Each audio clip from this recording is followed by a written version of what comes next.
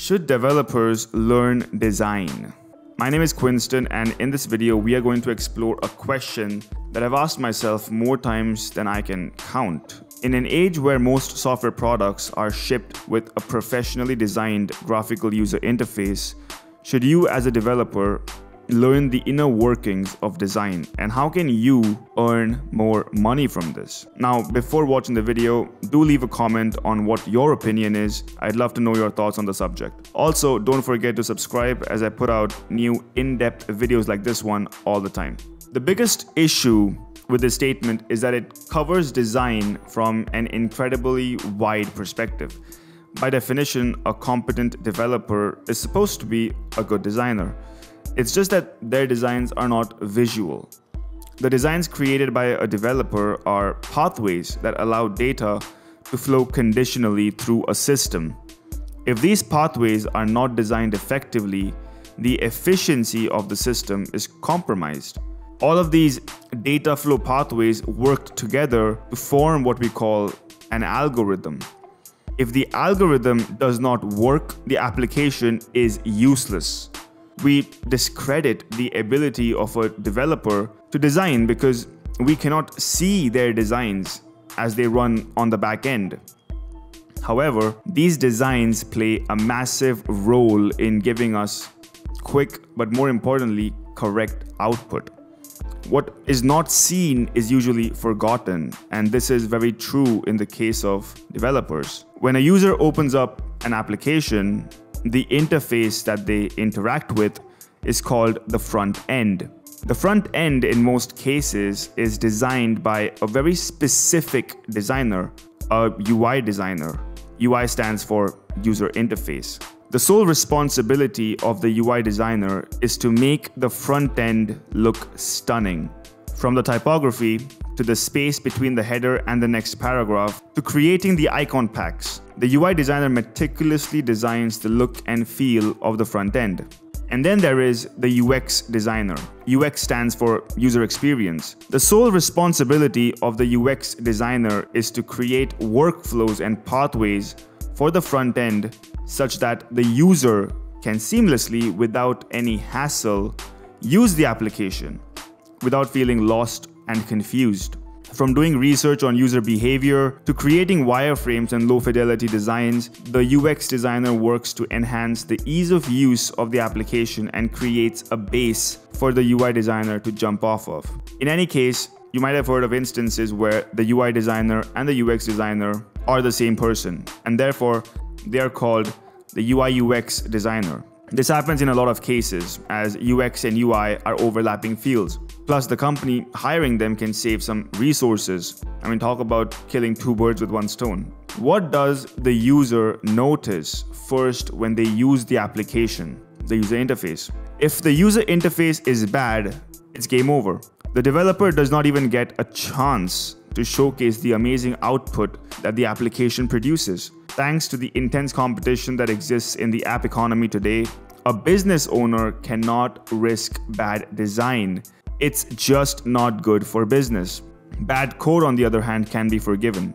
Computers today are really fast. Mobile devices are also computers, right? If the backend logic is written by an average developer who is not very experienced, the compilers, optimization matrices, etc., are going to work overtime along with the processor to make sure that code runs as fast as possible.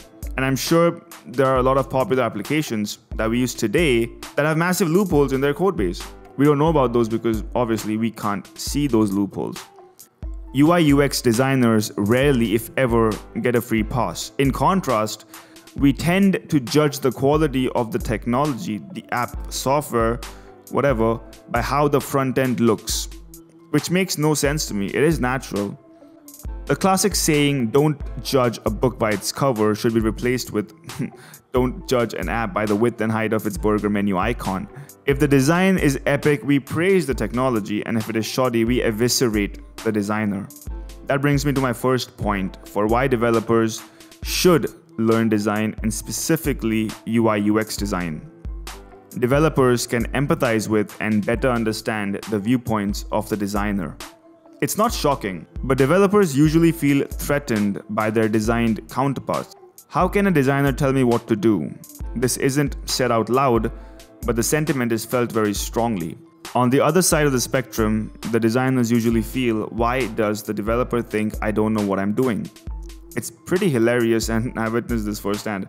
Heck, I have also been the developer in this situation. It's, it's not always pretty.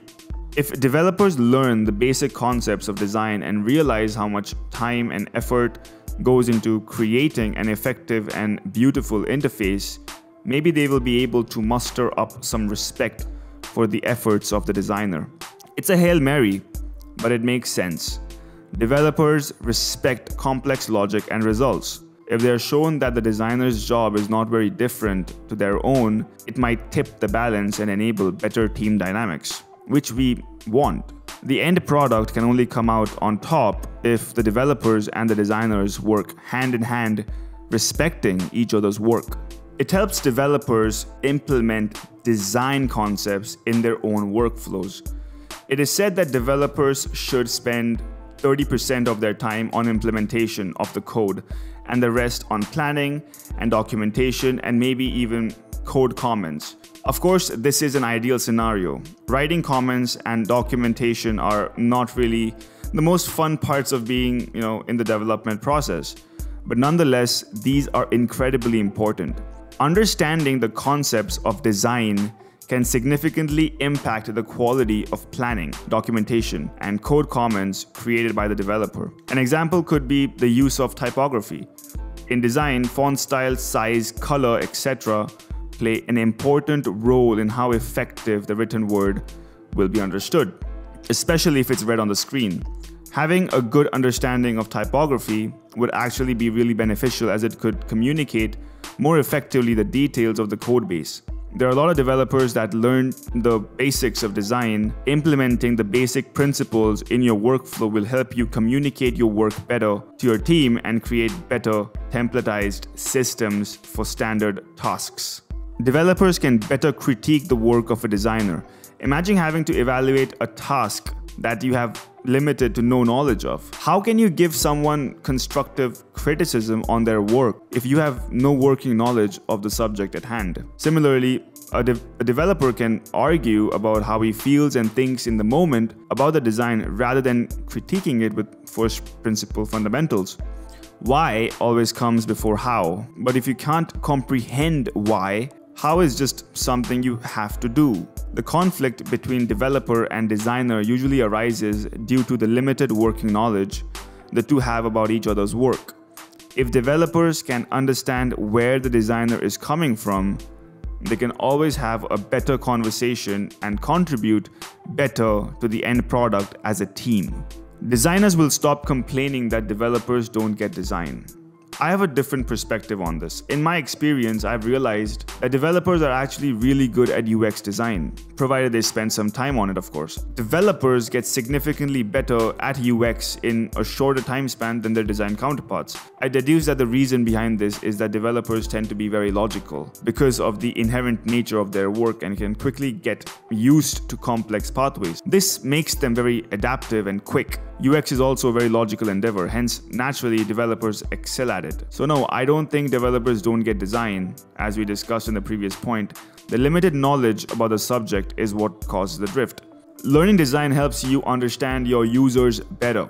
Let's be honest, as developers, we are romantic about the technology we use. In a lot of situations, we tend to get lost in the beauty of the technology rather than understanding what we are building and who we are building it for. The first principle of design thinking is to understand the target user. Who are you building for? What are they going to use the product for? If a developer does not understand this, it could severely be harmful for the product being developed. Your users have real problems and they are trying to solve those problems. Romanticizing about technology does not help. Technology is created to make our lives better not to sit and look pretty. At the end of the day, though, the user interacts with the designs visualized by the designer and implemented by the developer. This symbiotic relationship will be strengthened if it serves a common goal. The common goal in this case is creating the best product for the user. Learning design helps developers visualize the whole system end to end. As a developer, your job is to design and implement the system from a technical standpoint. Most developers are not trained in the visual arts and hence are not able to comprehend the entire workflow and pipeline of designing a full-fledged product offering. These, according to me, are one of the reasons that developers are not able to excel in the later stages of their careers to higher pay skills. You get a raise for the value you provide you can only write so much code for a product. At, at, Microsoft, it is said that a developer writes an average of a thousand lines of code a year. But if you actually provide valuable insights into the development of the product itself from the perspective of a developer who understands design, the sky is the limit. You will stand out as a distinct and valuable resource. On top of that, you will be able to deeply understand what goes into building a product now, not only from a technical standpoint, but also from a design and business perspective. This is extremely valuable as your opinions will directly impact the top line, the, the whole revenue of your employer. Heck, if you are a developer who is starting their own company, it will directly impact your own company's revenue. It will help you with your personal projects. Most developers work on their own personal projects in their downtime. I rarely find passionate developers that don't tinker around and build random projects. The problem is that most of these tools are unusable because they are not designed with the with the user in mind. Sure, the expectation is for them to be useful to somebody on the planet, but if the products themselves are unusable because of the interface and the user experience, how do you expect for them to actually work? But if you as a developer learn how to design for the user, it will greatly enhance the quality of the personal projects you create and might help you create a revenue stream other than your main source of income. Creating value from your personal projects is genuinely hard, but if you understand how to leverage yourself on both fronts, it is very possible. It might free you to pursue design, you might be surprised to know how many developers shift over to the other side after being exposed to the world of design. Maybe you are one of those individuals who thinks that they're a developer, but in reality, they're still in the closet as a designer.